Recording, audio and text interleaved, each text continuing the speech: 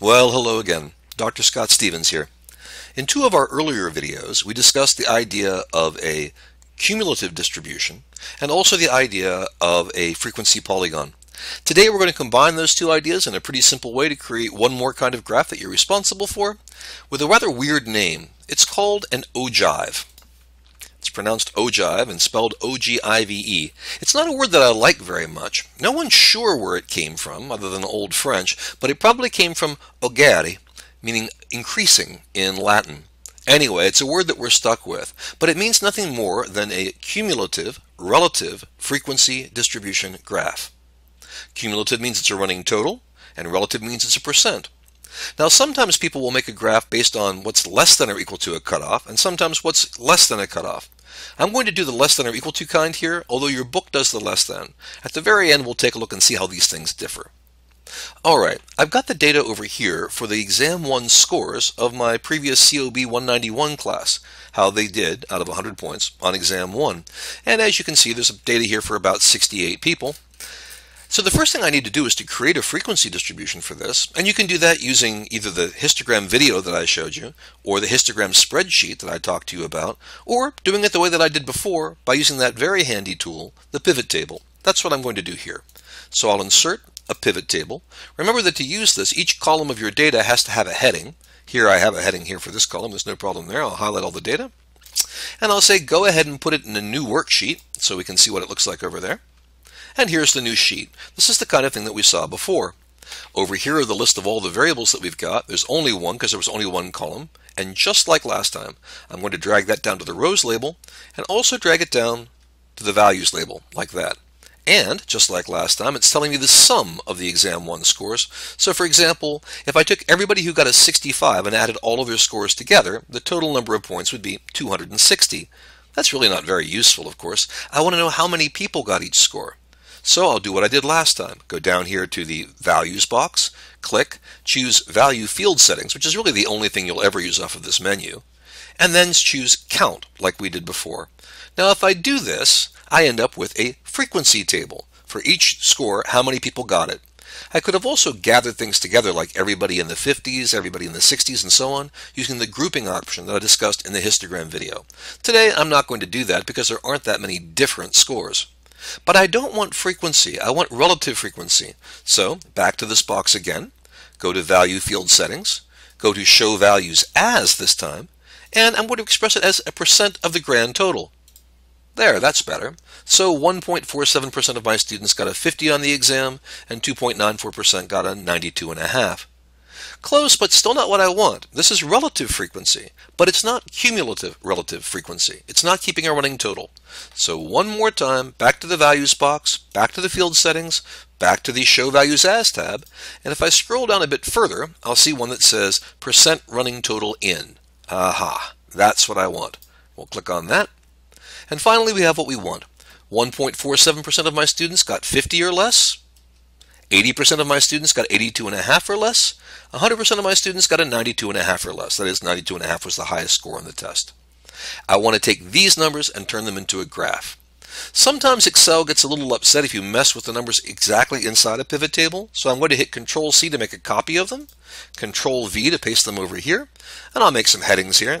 Here's the score, and here's the relative cumulative frequency. I'll point out that this is a less than or equal to value here, because as I told you, sometimes people talk about how many people got less than 60, but this one talks about how many people got less than or equal to 60. And because that's a little ambiguous, I'd like to include it in my label. I'm going to do one more thing too. A, an ogive, the kind of graph that we're creating, should always stop at 100, but it should always start at 0. So I'm going to put one more row at the beginning here. I'll highlight everything and go to the border of the box, not a corner, but the border, and you'll see that fat cross turn into a skinny one. I can just drag down then and put one more row. Uh, let's see, let's say 47.5, which would be the next category down, and a cumulative relative frequency of 0. If I wanted to make things look nice, I could align them all to the right, for example. So let's go ahead and do that. Now let's make a graph. I could do this as a line graph, but it's actually better for a number of reasons, maybe you can think about why, to do it as a scatter plot instead. So I'll go to Insert, choose the scatter plot, which is this one down here, and connect these points with straight lines. There we go. We're looking pretty much like an ogive, although it could be cleaned up a bit. Notice that the less than or equal to turned into a less than. Let's put that equal to there again by using the underline. The numbers don't need to go all the way down to zero. Let's go ahead and fix this axis, formatting the axis to make its smallest value 45. Okay, which is the small, actually, I guess, uh, yeah, 45, 47 and a half was the smallest in our table. 45 is okay. Minimum 45. Maximum 100, that's fine. Uh, on the vertical axis, I'd really like to have things expressed as percentages, and there's no reason to go up to 120%. 100% is fine. The number which should be expressed as a percentage, not as a general form. Percentage, number of decimal places. For my axis, I don't need any. So it's looking better now. I could certainly clean it up a bit more. For example, on the vertical axis I could write cumulative relative frequency.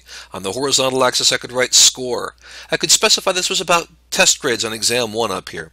We did that in another video, so to save you some time, I'm not going to do that right now. But I do want to highlight something else that you can do with these charts, which is very important, more important than you might think. Notice that the graph tells me, for example, that 20% of the students got about a 65 or less, and that 80, 90% uh, of the students got about an 85 or less. In fact, I, the average on this test was a 75, but you can see that actually almost 60% of the students got a 75 or less. But suppose I wanted to know how many students got a grade between 65 and 85. Well, this is 65 or less. How much did it grow by the time we got to 85 or less? The height here is 90%, the height here is 20%, and the difference between those two is about 70%, which means that about 70% of the students had grades that were bigger than 65, but were less than or equal to 85. The reason I use the specific words that I did are because this is a less than or equal to ogive. Let's unpack this a little further. We said from this observation that about 90% of all students got an 85% or less. That's less than or equal to. But from that, we're removing the 20% of the students that got a 65 or less. That is, we're subtracting off the people who got an exactly a 65. What's left? 70% of the people in between who got more than 65 but less than or equal to 85. If this were a less than ogive, you can figure it out, the same thing would be at least 65, but less than 85. See if you can make that make sense. For me, less than or equal to is an easier thing to interpret, and your textbook seems to think so too, because that's what it uses. But you may see a less than ogive, so make sure you can handle both kinds. Play around with this because this skill set of being able to look at the difference of two values and interpret what it means will be an, an essential one when we get to chapter 5.